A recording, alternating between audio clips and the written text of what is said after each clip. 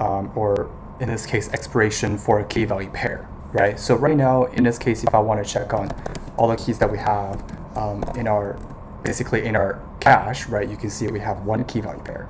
So if I want to set an expiration, right, for this key value pair, or first of all, how can we see if there is no expiration?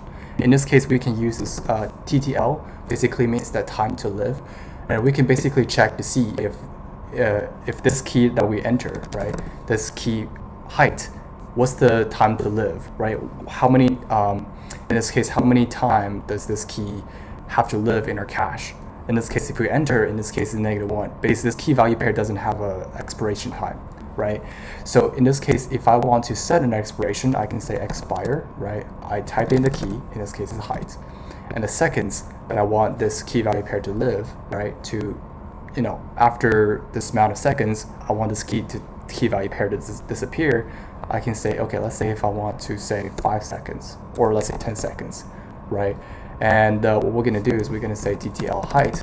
You can see we have six seconds left for this key value pair to um, to be removed in our in our cache, right? And if I want to say TTL height again, you can see it's negative two, so it's, it's pretty much gone, right, in our cache. So if I want to say, you know, get height, and you can see it's done. It's, it, it doesn't exist, right? Or I can also check exists height, and you can see zero because it's in this case it's false, right? It doesn't exist.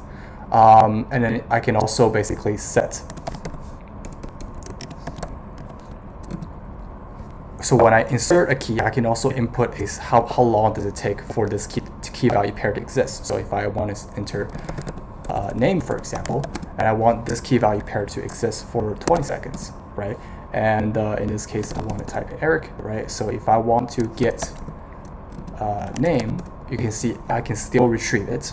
And if I want to check the time to live for name, you can see we have 10 seconds left.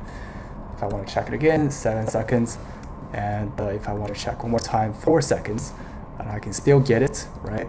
If I want to check, okay, one second's left, right? But now, if I check it, you can see it's gone, right? It doesn't exist anymore. So if I want to get name again, you can see it doesn't exist, right? And I can also say exists, it exists, name, sorry, name, you can see it's zero, right? It does, it's not, it does not exist.